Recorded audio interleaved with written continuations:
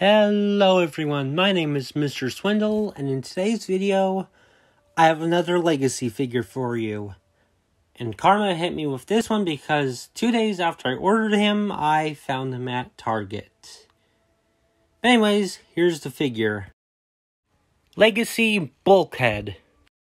Initially, when I first saw photos of the figure, I was sure that it was going to be a retool of Earthrise Grapple slash Kingdom Inferno.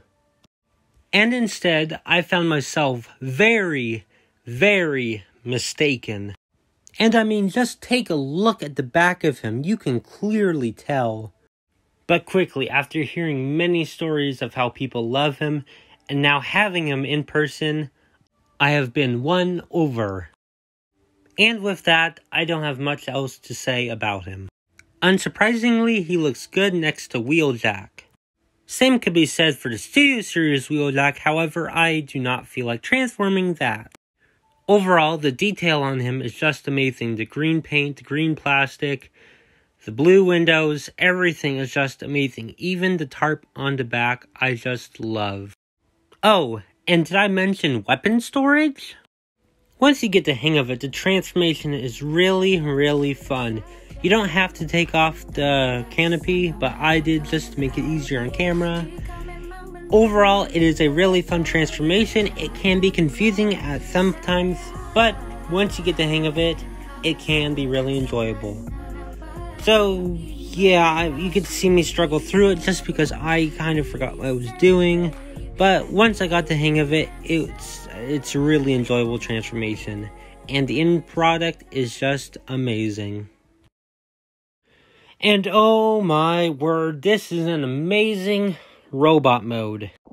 This figure is a presence similar a presence to Kingdom Galvatron, but slightly different. Bulkhead! What? I needed that! The previous skit was, was, just, just my, way of, saying, way of saying you can armor this guy up, guy and up, it looks amazing when you have armored him up. For size comparison, here he is next to Earthrise Wheeljack, Studio Series Ratchet, Legacy Arcee, and Studio Series Wheeljack.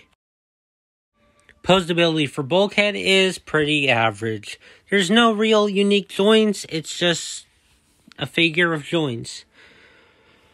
Uh, standard, I don't have much else to say about posability. Overall, Bulkhead is amazing. I highly recommend him. Go to your Target, go to your Walmart, and buy him. He is as good as Cyclonus. But for me, that's all I have for you, and I will see you Saturday.